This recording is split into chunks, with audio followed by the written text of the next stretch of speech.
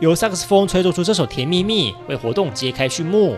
大肚区公所利用周末假日，为区里的长辈举办结婚表扬活动。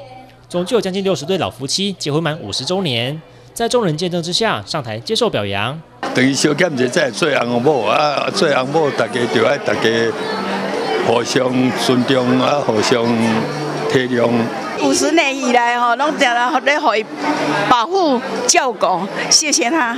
到场接受表扬的总共有五十六对，那我们大肚区呢，还有钻石婚的有二十九对要接受市级表扬，然后还有白金婚的有一对也要接受市府的表扬，所以呢，我们大肚区总共有一百多对的幸福的五十年以上的幸福夫妻。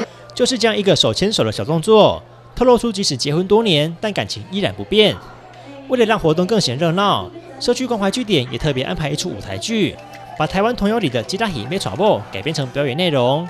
不仅演出生动，也让现场呈现一片喜气洋洋。来呀，大家吵吵来去啊，吉拉喜唱。除了分享大家的幸福以外，哦，嘛应该阮较少年当过来，嘛应该来大家多多学习吼，会当。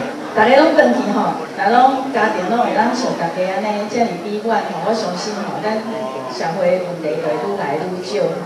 区公所表示，每对夫妻能够一路走来届满五十周年，相当不容易。